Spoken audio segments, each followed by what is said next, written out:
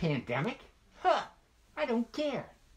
I don't care if it's raging all over America. I'm in charge, and I say there's no pandemic. You know why? 'Cause I don't care. I'm going to get reelected no matter what. My stupid people vote for me no matter what I do and what I tell them. When I tell them to vote for Trump, they vote for Trump.